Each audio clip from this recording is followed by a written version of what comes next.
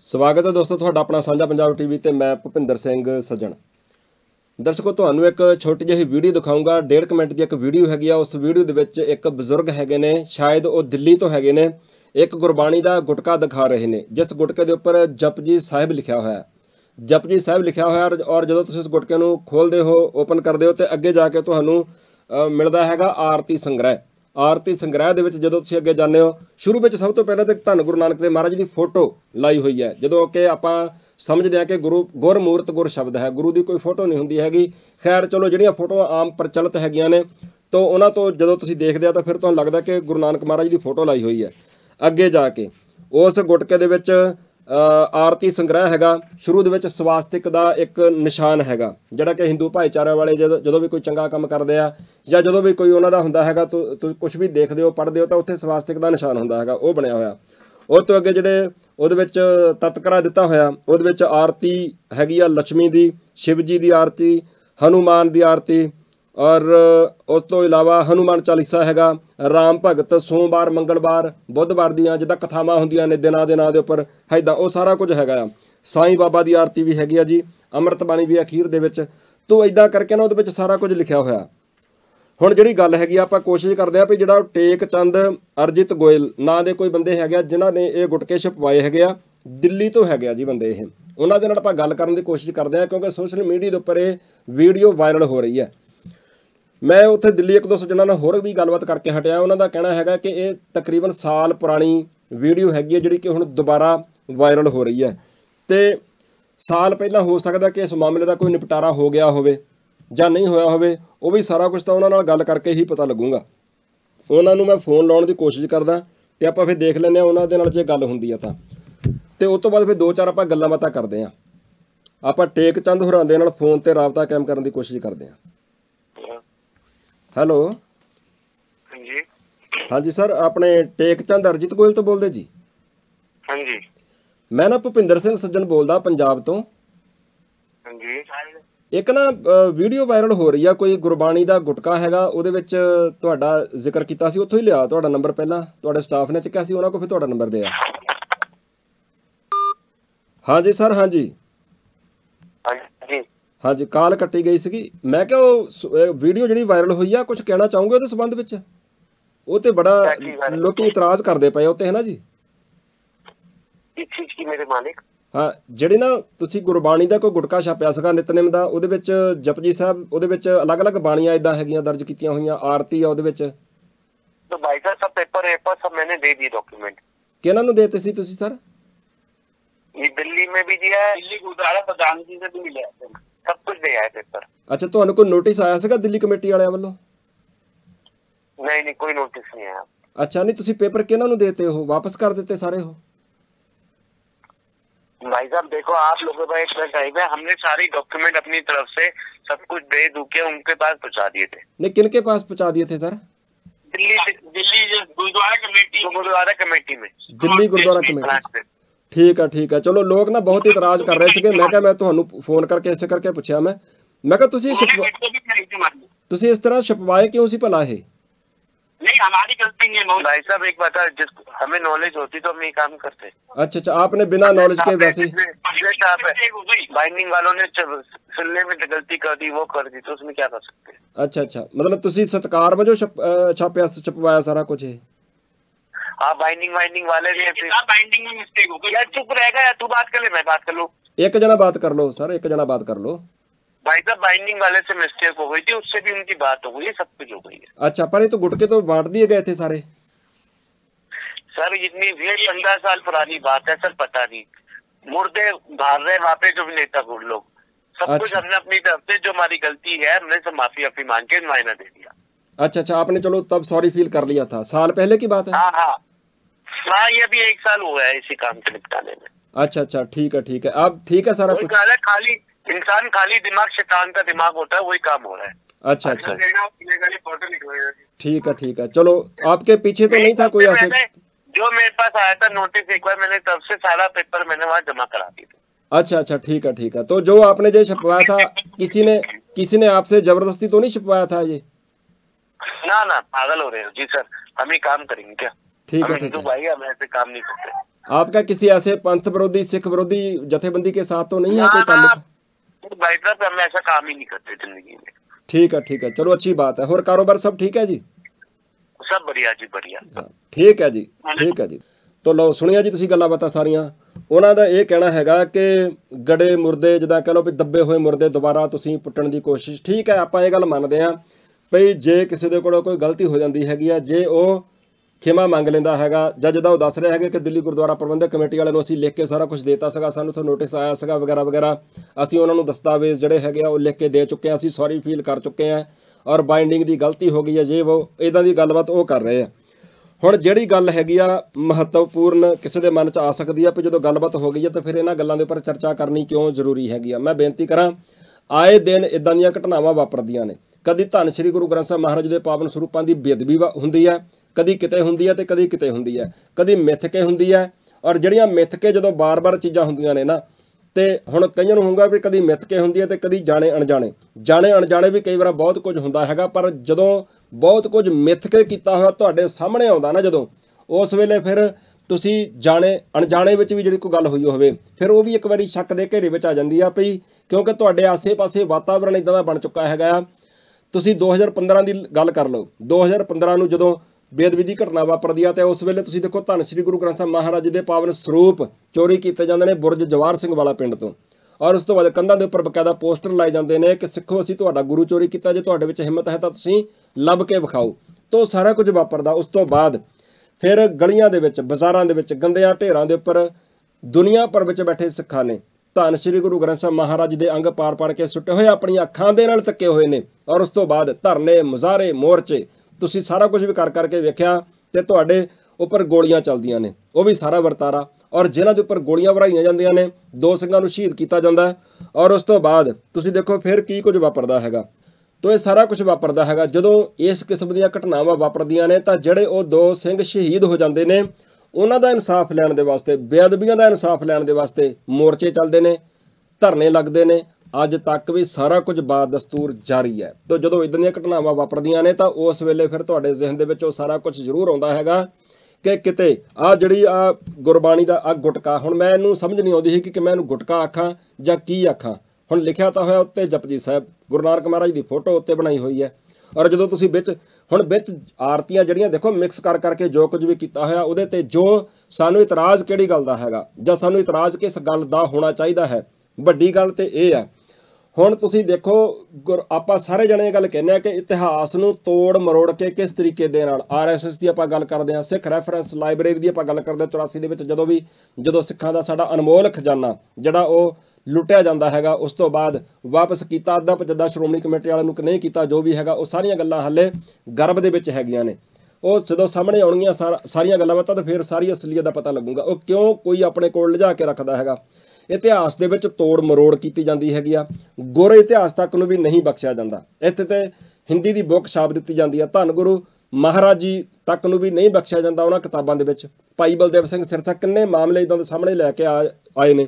ਔਰ ਜਿਹੜੀਆਂ ਸਿੱਖ ਹਿਸਟਰੀ ਨਾਂ ਦੀ ਬੁੱਕ ਹੈਗੀ ਆ ਉਹਦੇ ਵਿੱਚ ਗੁਰੂ ਨਾਨਕ ਮਹਾਰਾਜ ਜੀ ਨੂੰ, ਔਰ ਉਹਦੇ ਵਿੱਚ ਤੁਸੀਂ ਅੱਗੇ ਜਾ ਜਾ ਕੇ ਦੇਖੋ, ਜਦੋਂ ਸਾਰਾ ਕੁਝ ਪੜ੍ਹਦੇ ਹੋ ਨਾ ਜਦੋਂ, ਕਿੰਨੀ ਵਾਰੀ ਮੈਂ ਉਹਨਾਂ ਨਾਲ ਇੰਟਰਵਿਊ ਕਰ ਚੁੱਕਾ ਹੈਗਾ ਸਿਰਸਾ ਜੀ ਦੇ ਨਾਲ ਪਈ ਗੁਰੂ ਸਾਹਿਬ ਜੀ ਨੂੰ ਚੋਰ, ਡਾਕੂ, ਲਟੇਰੇ, ਨੌਕਰਾਣੀਆਂ ਦੇ ਪੇਟੋਂ ਬੱਚੇ, ਸੋ ਉਹ ਸਾਰਾ ਕੁਝ ਜਦੋਂ ਤੁਸੀਂ ਦੇਖਦੇ ਹੋ ਨਾ, ਤਾਂ ਫਿਰ ਤੁਹਾਡੇ ਇੱਕ ਵਾਰ ਤਾਂ ਹਿਰਦੇ ਬਲੁੰਦਰੇ ਹੀ ਜਾਂਦੇ ਨੇ ਨਾ, ਤੇ ਕਿਸ ਤਰੀਕੇ ਦੇ ਨਾਲ ਛੇੜਛਾੜ ਹੁੰਦੀ ਹੈ। ਹੁਣ ਗੁਰੂ ਸਾਹਿਬ ਜੀ ਨੇ, ਜਿਹੜੀ ਗੱਲ ਆਪਾਂ ਕਰ ਰਹੇ ਹਾਂ ਭਈ ਨਿਆਰਾਪਨ ਬਖਸ਼ਿਆ ਸਿੱਖਾਂ ਨੂੰ ਜਿਹੜੀ ਉਹ ਵੀਡੀਓ ਹੈਗੀ ਨਾ ਜੀ, ਜਿਹੜੀ ਬਜ਼ੁਰਗ ਦਿਖਾ ਰਹੇ ਆ, ਇਹ ਗੁਰਬਾ, ਜਿਹੜਾ ਗੁਟਕਾ ਉਹ ਮੈਂ ਤੁਹਾਨੂੰ ਸਾਰਾ ਦਿਖਾ ਦੂੰਗਾ, ਉਹਨਾਂ ਦੇ ਬੂਹੋਂ ਸੁਣਾ ਵੀ ਦਊਂਗਾ ਉਹਦੇ ਵਿੱਚ ਹੈ ਕੀ ਕੀ ਆ, ਸਾਰਾ ਕੁਝ ਤੁਸੀਂ ਨਾਲ ਨਾਲ ਦੇਖ, ਤੁਸੀਂ ਸਾਰਾ ਕੁਝ ਦੇਖੀ ਜਾਇਓ। ਤੋਂ ਉਹ ਜਿਹੜਾ ਸਾਰਾ ਕੁਝ ਹੈਗਾ ਆ ਨਾ, ਉਹ ਧਿਆਨ ਮੰਗਦਾ ਹੈਗਾ, ਕਿਉਂਕਿ ਜਦੋਂ ਇੱਕ ਵਾਰ ਨਹੀਂ, ਜਦੋਂ ਬਾਰ-ਬਾਰ ਜਦੋਂ ਬਾਰ-ਬਾਰ ਬਾਰ-ਬਾਰ ਇਹ ਸਾਰੇ ਵਰਤਾਰੇ ਵਾਪਰਦੇ ਆ, ਤਾਂ ਉਸ ਵੇਲੇ ਫਿਰ ਇਹ ਇਹ ਸਾਰੇ ਕਾਸੇ ਦੇ ਉੱਤੇ ਸੋਚਣਾ ਬਣਦਾ ਹੈਗਾ। ਗੁਰੂ ਸਾਹਿਬ ਜੀ ਨੇ ਸਿੱਖਾਂ ਨੂੰ ਬਖਸ਼ਿਆ ਸੀ, ਨਿਆਰਾਪਨ, ਇਤਿਹਾਸ ਨਿਆਰਾ ਹੈ।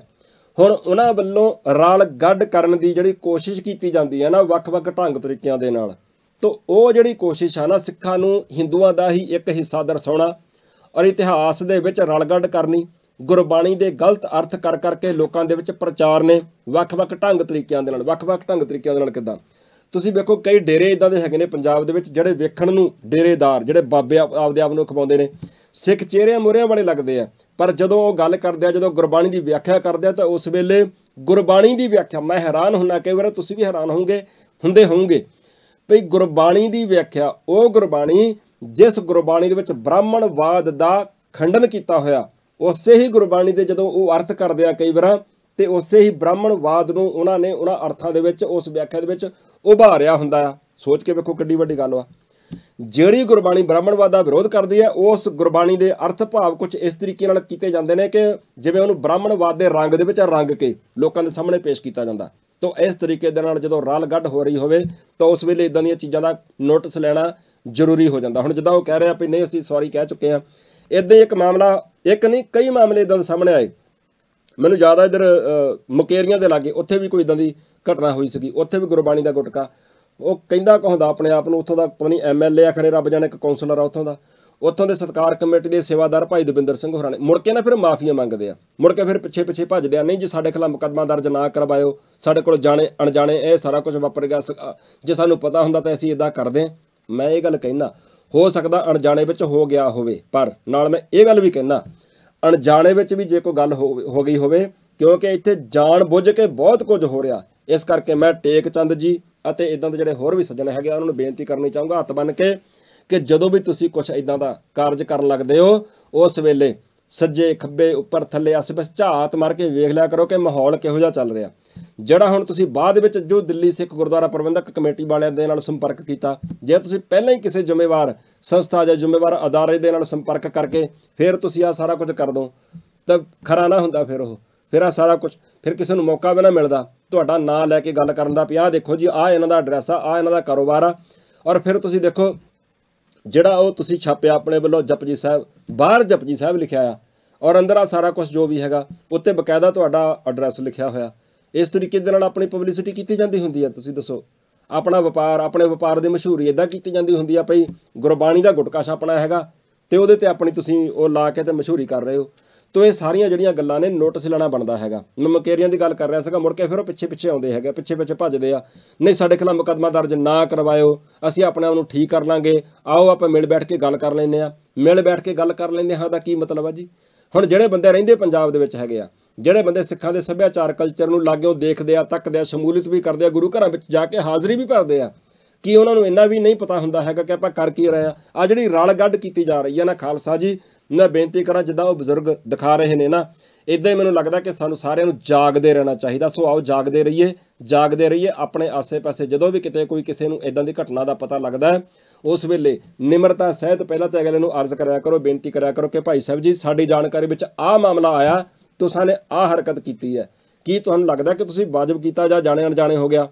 ਤੋਂ ਮੌਕੇ ਤੇ ਜਦੋਂ ਗੱਲਬਾਤ ਤੁਸੀਂ ਕਿਸੇ ਨਾਲ ਕਰਦੇ ਹੋ ਤੇ ਪਤਾ ਲੱਗ ਜਾਂਦਾ ਹੁੰਦਾ ਆ ਵੀ ਅਗਲੇ ਨੇ ਅਣਜਾਣੇ ਵਿੱਚ ਕੀਤਾ। ਜੇ ਤਾਂ ਅਣਜਾਣੇ ਵਿੱਚ ਕੀਤਾ, ਤੇ ਫਿਰ ਮਾਮਲੇ ਬਹੁਤ ਜ਼ਿਆਦਾ ਉਭਾਰਨ ਦੀ ਜ਼ਰੂਰਤ ਨਹੀਂ ਹੁੰਦੀ। ਸੋ ਜੇ ਜਾਣਬੁੱਝ ਕੇ ਕੀਤਾ ਹੈਗਾ, ਤਾਂ ਫਿਰ ਉਹਨੂੰ ਢੰਗ ਤਰੀਕੇ ਦੇ ਨਾਲ ਉਸ ਗੱਲ ਨੂੰ ਉਭਾਰ ਕੇ ਤੇ ਫਿਰ ਉਹਦਾ ਸੋਲੂਸ਼ਨ ਕੱਢਣਾ ਚਾਹੀਦਾ ਹੁੰਦਾ ਹੈ। ਇੱਕ ਹੋਰ ਗੱਲ ਜ਼ਰੂਰ ਕਹਿਣੀ ਚਾਹੂੰਗਾ।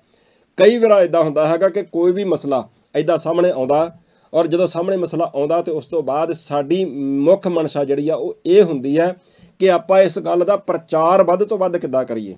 ਉਹਦੇ ਵਿੱਚ ਵੀ ਮੈਂ ਬੇਨਤੀ ਕਰਨੀ ਚਾਹੂੰਗਾ, ਇਹ ਜਿਹੜੇ ਆਏ ਦਿਨ ਇਦਾਂ ਦੇ ਮਸਲੇ ਆਉਂਦੇ ਨੇ ਨਾ, ਹੁਣ ਤੁਸੀਂ ਦੇਖੋ, ਹੁਣ ਜੇ ਸਾਲ ਪੁਰਾਣੀ ਗੱਲ ਵਾ ਇਹ, ਸਾਲ ਪੁਰਾਣੀ ਹੁਣ ਜੇ ਗੱਲ ਆ, ਹੁਣ ਦੁਬਾਰਾ ਵੀਡੀਓ ਵਾਇਰਲ ਕਿਉਂ ਹੋ ਰਹੀ ਆ ਭਲਾ? ਇਹ ਇੱਕ ਇਹ ਵੀ ਸਵਾਲ ਹੈਗਾ। ਦਰਅਸਲ ਮੇਰੇ ਨਾਲ ਜ਼ਿਹਨ ਵਿੱਚ ਕਈ ਵਾਰ ਇਹ ਗੱਲ ਘੁੰਮਦੀ ਆ, ਹੋ ਸਕਦਾ ਤੁਹਾਡੇ ਵਿੱਚੋਂ ਕਈ ਸੱਜਣ ਸਹਿਮਤ ਹੋਣ ਤੇ ਕਈ ਹੋ ਸਕਦਾ ਨਾ ਵੀ ਹੋਣ। ਮੇਰੇ ਜ਼ਿਹਨ ਵਿੱਚ ਇਹ ਗੱਲ ਘੁੰਮਦੀ ਆ, ਤੁਹਾਡੇ ਸਾਹਮਣੇ ਖਾਲਸਾ ਜੀ, ਇੱਕ ਮਸਲਾ ਹੁੰਦਾ ਹੈਗਾ, ਤੁਸੀਂ ਉਹਦਾ ਹੱਲ ਕੱਢਣ ਵਾਸਤੇ ਤੁਰ ਰਹੇ ਹੁੰਨੇ ਹੋ। ਸ਼ਾਮ ਨੂੰ ਤੁਸੀਂ ਕੋਈ ਸਮੱਸਿਆ, ਉਹਦੇ ਹੱਲ ਵਾਸਤੇ ਮੀਟਿੰਗ ਕਰਨੀ ਹੁੰਦੀ ਹੈ ਸ਼ਾਮ ਨੂੰ ਤੁਹਾਡੇ ਸਾਹਮਣੇ ਘੜੱਪ ਕਰਦਾ ਇੱਕ ਹੋਰ ਮਸਲਾ, ਤੁਹਾਡੇ ਵਿੜੇ 'ਚ ਆਣ ਡਿੱਗਦਾ ਰਾਤ ਨੂੰ ਸੌਂ ਗਏ। ਸਵੇਰ ਨੂੰ ਜਦੋਂ ਤੁਸੀਂ ਉੱਠੇ, ਹੱਲੇ ਸੋਚਣ ਦੇ ਹੁੰਦੇ ਵੀ ਕੱਲ ਦੋ ਮਸਲੇ ਸੀਗੇ, ਆਪਾਂ ਦੋਵਾਂ ਵਿੱਚੋਂ ਅੱਜ ਇੱਕ ਦਾ ਕੋਈ ਨਾ ਕੋਈ ਮਿਲ ਬੈਠ ਕੇ ਹੱਲ ਕੱਢਾਂਗੇ। ਨਾਲ ਹੀ ਜਦੋਂ ਤੁਸੀਂ ਸਵੇਰੇ ਸੁੱਤੇ ਉੱਠਦੇ ਹੋ, ਸੁੱਤੇ ਉੱਠਦਿਆਂ ਨੂੰ ਤੁਹਾਡੇ ਸਾਹਮਣੇ ਇੱਕ ਹੋਰ ਅਖਬਾਰ ਦੇ ਰਾਹੀਂ ਜਾਂ ਜੋ ਸੋਸ਼ਲ ਮੀਡੀਆ ਦੇ ਯੁੱਗ ਹੈ, ਤੁਸੀਂ ਸੋਸ਼ਲ ਮੀਡੀਆ ਦੇ ਉੱਪਰ ਜਦੋਂ ਜਾਂਦੇ ਹੋ, ਝਾਤੀ ਮਾਰਦੇ ਹੋ ਤਾਂ ਤੁਹਾਨੂੰ ਸਾਹਮਣੇ ਨਜ਼ਰ ਆ ਜਾਂਦਾ, ਇੱਕ ਹੋਰ ਮਸਲਾ ਵੱਡਾ ਤੁਹਾਡੇ ਵਿਹੜੇ ਦੇ ਵਿੱਚ ਆਣ ਕੇ ਡਿੱਗਿਆ ਹੋਇਆ। ਔਰ ਫਿਰ ਆਪਾਂ ਉਹਨਾਂ ਮਸਲਿਆਂ ਨੂੰ ਨਜਿੱਠਣ ਨੂੰ, ਉਹਨਾਂ ਮਸਲਿਆਂ ਦੇ ਹੱਲ ਵਾਸਤੇ ਕੀ ਕੀਤਾ ਜਾਵੇ, ਕੀ ਕਰੀਏ, ਉਧਰ ਹੀ ਉਲਝੇ ਰਹਿੰਦੇ ਆ, ਦੂਏ ਬੰਨੇ। ਜਿਹੜੇ ਲੋਕ ਕਿਸੇ ਨਾ ਕਿਸੇ ਸਾਜ਼ਿਸ਼ ਦੇ ਤਹਿਤ, ਖਾਲਸਾ ਜੀ ਤੁਹਾਨੂੰ ਆਪੋ ਵਿੱਚ ਉਲਝਾ ਕੇ ਵੀ ਤੁਸੀਂ ਇਹਨਾਂ ਮਸਲਿਆਂ ਦੇ ਵਿੱਚ ਉਲਝੇ ਰਹੋ। ਉਹ ਆਪਣਾ ਕੰਮ ਬਾਦ ਦਸਤੂਰ ਉਹਨਾਂ ਨੇ ਜਾਰੀ ਰੱਖਿਆ ਹੋਇਆ। ਮੈਂ ਜਿਹਨਾਂ ਦੀ ਗੱਲ ਕਰ ਰਿਹਾ, ਤੁਸੀਂ ਸਮਝ ਜਾਓ। ਉਹਨਾਂ ਨੇ 100 100 100-100 ਤੋਂ ਵਧੇਰੇ ਵਰਿਆਂ ਦੇ ਟੀਚੇ ਮਿੱਥ ਕੇ ਤੁਰੇ ਹੋਏ ਆ ਉਹ ਲੋਕ। ਔਰ ਹੌਲੀ-ਹੌਲੀ ਕਰਕੇ ਉਹ ਆਪਣੇ ਟੀਚੇ ਸਰ ਕਰਦੇ ਜਾ ਰਹੇ ਨੇ। ਔਰ ਸਾਡੇ ਹਾਲਾਤ ਫਿਰ ਵੱਧ ਨਾਲੋਂ ਬੱਤਰ ਕਿਉਂ ਹੁੰਦੇ ਜਾ ਰਹੇ ਨੇ? ਆਪਣੀ ਹੀ ਧਰਤੀ ਦੇ ਉੱਪਰ, ਆਪਣੇ ਹੀ ਪਰਿਵਾਰਾਂ ਦੇ ਵਿੱਚ, ਸਾਡੇ ਆਪਣੇ ਆਪ ਦੇ ਵਿੱਚ ਅਸੀਂ ਕਿਉਂ ਕੱਲ ਇੱਥੇ ਸੀਗੇ ਤੇ ਅੱਜ ਇੱਥੇ ਆ ਗਏ ਆਪਾਂ? ਕਿਉਂ ਆ ਗਏ ਇਦਾਂ ਇਹ ਸਾਰਾ ਕੁਝ ਸਮਝਣ ਦੀ ਜ਼ਰੂਰਤ ਹੈ। ਆਹ ਗੱਲਾਂ ਕਰਨੀਆਂ ਇਸ ਕਰਕੇ ਜ਼ਰੂਰੀ ਸੀਗੀਆਂ, ਜਿੱਦਾਂ ਵਿੱਚ ਗੁਰਬਾਣੀ ਦਾ ਵਿੱਚੇ ਗੁਟਕਾਇਆ ਵਿੱਚ ਬ- ਬਾਣੀਆਂ ਵਿੱਚੇ ਵਿੱਚੇ ਹੀ ਸਾਰਾ ਕੁਝ ਹੋਰ ਰਿਹਾ ਹਨੂਮਾਨ ਚਾਲੀਸਾ ਦੇਖੋ, ਜਿਨ੍ਹਾਂ ਨੂੰ ਹੈਗਾ, ਉਹਨਾਂ ਨੂੰ ਮੁਬਾਰਕ ਵਾ। ਪਰ ਉਹਨਾਂ ਦਾ ਵੱਖਰਾ, ਦੇਖੀ ਤਾਂ ਕਈ ਵਾਰ ਆਪਾਂ ਉਹਨਾਂ ਦੇ ਉਹਨਾਂ ਦੇ ਆਪਣੇ ਧਾਰਮਿਕ ਗ੍ਰੰਥ ਹੈਗੇ ਆ, ਉਹਨਾਂ ਦੀਆਂ ਆਪਣੀਆਂ ਆਰਤੀਆਂ ਹੈਗੀਆਂ ਨੇ, ਅਲੱਗ-ਅਲੱਗ ਉਹਨਾਂ ਨੇ ਛਾਪਿਆ ਹੋਇਆ ਸਾਰਾ ਕੁਝ ਪਰ ਜਦੋਂ ਰਲ ਗੱਡ ਵਾਲੀ ਗੱਲ ਹੁੰਦੀ ਆ ਨਾ, ਉਸ ਵੇਲੇ ਫਿਰ ਮੱਥਾ ਜ਼ਰੂਰ ਠਣਕਦਾ ਔਰ ਠਣਕਣਾ ਚਾਹੀਦਾ ਵੀ ਹੈਗਾ, ਜ਼ਰੂਰੀ ਆ ਇਹ ਗੱਲ। ਕਿਉਂਕਿ ਤੁਸੀਂ ਦੇਖੋ ਸਾਹਿਬਜ਼ਾਦਿਆਂ ਦੀ ਜਦੋਂ ਸ਼ਹਾਦਤ ਦੀ ਆਪਾਂ ਗੱਲ ਕਰਦੇ ਆ ਜਦੋਂ ਉਹਨਾਂ ਦੇ ਸ਼ਹੀਦੀ ਦਿਹਾੜੇ ਮਨਾਏ ਜਾਂਦੇ ਆ, ਤਾਂ ਸਿੱਖ ਸਾਹਿਬਜ਼ਾਦਾ ਬਾਬਾ ਅਜੀਤ ਸਿੰਘ, ਸਾਹਿਬਜ਼ਾਦਾ ਬਾਬਾ ਜੁਝਾਰ ਸਿੰਘ, ਸਾਹਿਬਜ਼ਾਦਾ ਬਾਬਾ ਬਾਬਾ ਲਫ਼ਜ਼ ਬੋਲਦਿਆਂ ਨਾਲ, ਜ਼ੋਰਾਵਰ ਸਿੰਘ ਤੇ ਸਾਹਿਬਜ਼ਾਦਾ ਬਾਬਾ ਫਤਿਹ ਸਿੰਘ, ਸਿੱਖ ਐਦਾਂ ਬਾਬੇ ਲਫ਼ਜ਼ ਕਰਕੇ ਬੋਲਦਾ, ਉਹਨਾਂ ਨੇ ਵੀਰ ਬਾਲ ਦਿਵਸ ਮਨਾਤਾ, ਬਣਾ ਦਿੱਤਾ ਔਰ ਬਣਾ ਕੇ ਫਿਰ ਕੀਤਾ ਕੀ ਜਿਹੜੀ, ਉਸ ਤੋਂ ਅਗਲੀ ਜਿਹੜੀ ਅਹਿਮ ਗੱਲ ਵਾ ਜਿਹੜੀ ਜਿਹੜੀ ਤੁਹਾਡੇ ਸਿਧਾਂਤ ਨੂੰ ਢਾਲ ਲਾਈ ਹੈ। ਦੇਖੋ ਕਿਦਾ ਰਲਗੜ ਕੀਤੀ ਜਾਂਦੀ ਹੈ। ਤੁਹਾਡਾ ਸ਼ਾਨਾ ਮੱਤਾ ਤੇ ਨਿਆਰਾ ਇੱਕ ਵੱਖਰੀ ਤਰ੍ਹਾਂ ਦਾ ਇਤਿਹਾਸ ਹੈ। ਇੱਥੇ ਦਾ ਕੁਰਬਾਨੀ ਸ਼ਹਾਦਤ, ਉਹਨੂੰ ਇੱਥੇ ਲਿਆਣ ਕੇ ਕਿੱਦਾਂ ਸੁੱਟਿਆ ਜਾਂਦਾ? ਦੇਖੋ ਤੁਸੀਂ, ਉਹਨੂੰ ਵੀਰ ਬਾਲ ਦਿਵਸ ਨੂੰ ਉਹ ਕਿਸੇ ਹੋਰ ਰੰਗ ਦੇ ਵਿੱਚ ਰੰਗ ਕੇ ਰਾਸ਼ਟਰ ਧਰਮ ਕੀ ਖਾਤਰ ਉਹਨਾਂ ਨੇ ਕੁਰਬਾਨੀ ਕੀਤੀ? ਐਦਾਂ ਤੁਹਾਨੂੰ ਰਲਗੜ ਕੀਤਾ ਜਾ ਰਿਹਾ। ਸੋ ਉਹ ਤੁਹਾਨੂੰ ਆਪਣੇ ਵਿੱਚ ਜਜ਼ਬ ਕਰ ਲੈਣਾ ਚਾਹੁੰਦੇ ਆ। ਜਦੋਂ ਉਹ ਬਾਰ-ਬਾਰ ਇਹ ਗੱਲ ਕਹਿੰਦੇ ਆ ਨਾ ਕਿ ਤੁਹਾਡਾ ਕੋਈ ਨਿਆਰਾਪਨ ਨਹੀਂ ਹੈ, ਤੁਸੀਂ ਹਿੰਦੂਆਂ ਦਾ ਹੀ ਇੱਕ ਹਿੱਸਾ ਹੋ। ਜਦੋਂ ਇਦਾਂ ਦੀਆਂ ਗੱਲਾਂ, ਤੇ ਸਾਡੇ ਕਈ ਵਾਰ ਆਪਣੇ ਹੀ ਲੱਪੈਂਦੇ ਕਣ ਹਾਂ, ਇਹ ਤਾਂ ਗੱਲ ਹੈ ਆ, ਸਾਂਝ ਹੁੰਦੀ, ਭਾ- ਦੇਖੋ ਇੱਕ ਭਾਈਚਾਰਕ ਸਾਂਝ ਹੁੰਦੀ ਆ, ਉਹਨੂੰ ਇੱਕ ਦੂਜੇ ਨਾਲ ਬਣਾ ਕੇ ਰੱਖਣਾ, ਉਹ ਇੱਕ ਅਲੱਗਾ ਗੱਲ ਹੁੰਦੀ ਹੈ। ਕਿਸੇ ਦੀ, ਕਿਸੇ ਦੇ ਨਾਲ ਸਾਂਝ, ਤੁਹਾਡੀ ਆਪਣੀ ਕੋਈ ਸਾਂਝ ਆਪਣੀ ਹੋਂਦ ਕੋਈ ਨਹੀਂ ਹੈਗੀ। ਤੁਸੀਂ ਆਪਣੇ ਆਪ ਵਿੱਚ ਕੁਝ ਨਹੀਂ ਹੈਗੇ। ਸੋਚੋ ਜਰਾ। ਤੁਹਾਨੂੰ ਗੁਰੂ ਸਾਹਿਬ ਜੀ ਨੇ ਵੱਖਰਾ, ਤੁਹਾਨੂੰ ਗੁਰੂ ਸਾਹਿਬ ਜੀ ਨੇ ਵੱਖਰਾ ਕੁਝ ਬਣਾ ਕੇ ਦਿੱਤਾ। ਤੁਹਾਡਾ ਰੂਪ ਵੱਖਰਾ, ਤੁਹਾਡਾ ਰੰਗ ਵੱਖਰਾ, ਤੁਹਾਡੀ ਜ਼ਿੰਦਗੀ ਜੀਣ ਦਾ ਢੰਗ ਵੱਖਰਾ, ਤੁਹਾਡੀਆਂ ਰਹਿਤ ਮਰਿਆਦਾ ਵੱਖਰੀਆਂ, ਤੁਹਾਡਾ ਸਾਰਾ ਕੁਝ ਤੇ ਵੱਖਰਾ। ਉਧਰਲੇ ਬੰਨੇ ਜਾਤੀਵਾਦ ਸਭ ਕੁਝ ਹੈਗਾ, ਤੁਹਾਡੇ ਵਾਲੇ ਪਾਸੇ ਹੈ ਨਹੀਂ ਆ। ਜੇ ਕੋਈ ਰੱਖਦਾ ਜਾਂ ਕਰਦਾ ਹੈਗਾ, ਉਹ ਆਪ ਖੁਦ ਜ਼ਿੰਮੇਵਾਰ ਆ। ਪਰ ਜਿਹੜੇ ਗੁਰਮਤ ਦੇ ਸਿਧਾਂਤ ਹੈਗੇ ਆ, ਉਹ ਨਹੀਂ ਹੈਗੇ। ਉਹਨਾਂ ਦੇ ਤਾਂ ਸਿਧਾਂਤ ਹੈਗੇ ਆ ਇਦਾਂ ਦੇ। ਉਹ ਤੇ ਖੱਤਰੀ ਬ੍ਰਾਹਮਣ ਸ਼ੂਦ ਵੈਸ਼ ਉਹ ਤੇ ਇਦਾਂ ਮੰਨਦੇ ਆ ਤੇ ਹੈਗਾ ਪਰ ਸਾਡੇ ਇੱਥੇ ਉਪਦੇਸ਼ ਚੌ ਵਰਨਾ ਕੋ ਸਾਂਝਾ ਆ। ਸਾਡੇ ਇੱਥੇ ਇਦਾਂ ਹੈਗਾ। ਸੋ ਇਹ ਫ਼ਰਕ ਹੈਗਾ। ਇਸ ਫ਼ਰਕ ਨੂੰ ਤੁਸੀਂ ਉਦਾਂ ਨਾ ਦੇਖਿਆ ਕਰੋ। ਇੱਕ ਸਿੱਖ ਕਿਸੇ ਹਿੰਦੂ ਦੇ ਨਾਲ ਸਾਂਝ ਪਾ ਕੇ ਰੱਖਦਾ ਇਦਾਂ ਦੋਸਤੀ ਹੈ ਸਾਂਝ ਹੈ ਆਂਢ ਗੁਆਂਢ ਦਾਲ ਕੌਲੀ ਦੀ ਸਾਂਝ ਹੈਗੀ ਆ ਬੜੀ ਚੰਗੀ ਗੱਲ ਹੈਗੀ ਆ ਉਹ ਸਾਂਝ ਹੋਣੀ ਚਾਹੀਦੀ ਆ ਉਹਨੂੰ ਕਹਿੰਦੇ ਭਾਈਚਾਰਕ ਸਾਂਝ। ਪਰ ਜੇ ਇੱਕ ਧਿਰ ਦੂਜੀ ਧਿਰ ਦੀ ਹੋਂਦ ਹਸਤੀ ਨੂੰ ਹੀ ਨਿਗਲਣਾ ਤੱਕ ਲਵੇ ਵੀ ਮੈਂ ਤਾਂ ਇਹਨੂੰ ਨਿਗਲ ਹੀ ਜਾਣਾ। ਤੇ ਮੈਂ ਤਾਂ ਇਹਦੀ ਅੱਡਰੀ ਹੋਂਦ ਹਸਤੀ ਨੂੰ ਮੰਨਦਾ ਹੀ ਨਹੀਂ ਹੈਗਾ। ਉਸ ਵੇਲੇ ਫਿਰ ਮੱਥਾ ਠਣਕਣਾ ਚਾਹੀਦਾ ਜਾਂ ਨਹੀਂ ਠਣਕਣਾ ਚਾਹੀਦਾ? ਠਣਕਣਾ ਚਾਹੀਦਾ ਉਸ ਵੇਲੇ। ਆਪਣੇ ਆਪ ਨੂੰ ਸੰਭ- ਸੰਭਾਲ ਕੇ ਰੱਖੋ। ਤੋ ਆ ਜਿਹੜੀਆਂ ਘਟਨਾਵਾਂ ਨੇ ਨਾ ਇਦਾਂ ਦੀਆਂ ਜਿਹੜੀਆਂ ਚੀਜ਼ਾਂ ਹੁੰਦੀਆਂ ਨੇ, ਛਪ, ਛਪਾ ਕੇ ਜਦੋਂ ਤੁਹਾਡੇ ਸਾਹਮਣੇ ਆਉਂਦੀਆਂ ਨੇ ਵੀਡੀਓਜ਼ ਵਾਇਰਲ ਹੁੰਦੀਆਂ ਨੇ, ਤਾਂ ਉਸ ਵੇਲੇ ਤੁਹਾਡੀ ਜਿਹੜੀ ਇਹ, ਉਹ ਗੱਲ ਵਾ ਇਹ ਮਿਕਸ ਅਪ ਕੀਤਾ। ਜਦ, ਇੱਕ ਦੂਜੇ ਨੂੰ ਇੱਕ ਦੂਜੇ ਦੇ ਵਿੱਚ ਮਿਕਸ ਅਪ ਕਰ ਲਓ। ਨਿਆਰਾਪਨ ਤੁਹਾਡਾ ਵੱਖਰਾ ਰਵੇ ਹੀ ਨਾ। ਨਿਆਰਾਪਨ, ਤੁਸੀਂ ਆਪਣਾ ਤਾਂ ਬਰਕਰਾਰ ਰੱਖ ਸਕਦੇ ਹੋ। ਜਦੋਂ ਮਿਲਗੋਬਾ ਹੋਇਆ ਹੋਵੇ ਨਾ, ਜਦੋਂ ਕਿਸੇ ਚੀਜ਼ ਨੂੰ ਕਿਸੇ ਚੀਜ਼ ਦੇ ਵਿੱਚ ਇਹਦਾ ਮਿਕਸ ਕਰ ਦਿੱਤਾ ਜਾਵੇ, ਇਹਦਾ ਪਾ ਦਿੱਤਾ ਜਾਵੇ, ਤਾਂ ਕਿਸੇ ਨੂੰ ਕਿੱਦਾਂ ਪਤਾ ਲੱਗਦਾ ਹੁੰਦਾ ਭਈ ਇਹਦੇ ਵਿੱਚ ਕੁਝ ਮਿਕਸ ਕੀਤਾ ਗਿਆ ਭਲਾ? ਜਿਹੜੇ ਜਾਣਕਾਰ ਹੁੰਦੇ ਆ, ਜਿਹੜੇ ਉਸ ਚੀਜ਼ ਨੂੰ ਚੰਗੀ ਤਰ੍ਹਾਂ ਸਮਝਦੇ ਹੁੰਦੇ ਆ, ਜਾਣਦੇ ਹੁੰਦੇ ਆ, ਉਹਨਾਂ ਨੂੰ ਪਤਾ ਲੱਗ ਸਕਦਾ ਹੁੰਦਾ ਵੀ ਮਿਲਗੋਬਾ ਹੋ ਗਿਆ। ਹੁਣ ਜੇ ਗੁਰ ਇਤਿਹਾਸ ਦੇ ਨਾਲ ਕੋਈ ਛੇੜਛਾੜ ਕਰਕੇ ਤੇ ਮਿਲਗੋਬਾ ਕਰੇ ਤੇ ਜਿਹੜੇ ਤਾਂ ਗੁਰਬਾਣੀ ਨੂੰ ਪੜ੍ਹਦੇ ਹੈਗਾ ਜਿਨ੍ਹਾਂ ਨੇ ਤਾਂ ਗੁਰਬਾਣੀ ਨੂੰ ਅਰਥਾਂ ਸਹਿਤ ਪੜ੍ਹਿਆ, ਉਹ ਤੇ ਉਸੇ ਵੇਲੇ ਫਟ ਦੱਸ ਦੇਣਗੇ, ਇੱਥੇ ਟਪੜਾ ਖਾ ਗਿਆ ਇਹ, ਜਾਂ ਇੱਥੇ ਇਹ ਸਾਨੂੰ ਗੁੰਮਰਾਹ ਕਰ ਗਿਆ ਜਦੋਂ ਇਹ ਬੋਲਣ ਲੱਗਾ। ਇਹਨੇ ਮਿਕਸ ਕਰ ਦਿੱਤਾ ਵਿੱਚ ਕੁਝ ਗੁਰਬਾਣੀ ਗੁਰੂ ਸਾਹਿਬ ਜੀ ਕੁਝ ਹੋਰ ਕਹਿਣਾ ਚਾਹੁੰਦੇ ਆ, ਇੱਥੇ ਸਾਨੂੰ ਕੁਝ ਹੋਰ ਪੜਾਇਆ ਜਾ ਰਿਹਾ। ਫਿਰ ਤੁਹਾਨੂੰ ਪਤਾ ਲੱਗ ਜਾਊਗਾ ਕਿ ਇਹ ਕੁਝ ਮਿਕਸ ਕਰਕੇ ਸਾਡੇ ਮੂਹਰੇ ਪੇਸ਼ ਕੀਤਾ ਜਾ ਰਿਹਾ। ਤੋਂ ਇਸ ਕਰਕੇ ਆਪਣਾ ਇਤਿਹਾਸ ਗੁਰੂ ਸਵਾਰਿਓ, ਆਪਣੀਆਂ ਰੌ ਰੀਤਾਂ ਅਤੇ ਗੁਰ ਇਤਿਹਾਸ ਤੋਂ ਇਲਾਵਾ ਗੁਰਬਾਣੀ ਅਰਥਾਂ ਸਹਿਤ ਇੱਕ ਵਾਰ ਸਾਨੂੰ ਜ਼ਰੂਰ ਪੜ੍ਹਨੀ ਚਾਹੀਦੀ ਹੈ ਤਾਂ ਜੋ ਆਪਾਂ ਕੰਪੈਰੀਜ਼ਨ ਕਰਨ ਦੇ ਯੋਗ ਹੋ ਜਾਈਏ। ਹੁਣ ਆਹ ਜਿਹੜੀ ਚੀਜ਼ ਸਾਹਮਣੇ ਆਈ ਹੈਗੀ ਆ। ਹੁਣ ਜਿਹੜੇ ਬਜ਼ੁਰਗ ਦੱਸ ਰਹੇ ਮੈਂ ਤੁਹਾਨੂੰ ਵੀਡੀਓ ਦਿਖਾ ਦਿੰਦਾ, ਤੁਸੀਂ ਦੇਖ ਲਿਓ, ਸੁਣ ਲਿਓ, ਆਪ ਵੀ। ਹੁਣ ਉਹਨਾਂ ਨੇ ਕੰਪੈਰੀਜ਼ਨ ਕੀਤਾ ਹੈ ਨਾ ਜੀ, ਤਾਂ ਹੀ ਉਹਨਾਂ ਨੂੰ ਪਤਾ ਲੱਗਾ ਕਿ ਆ ਗਲਤ ਆ ਕੁਝ।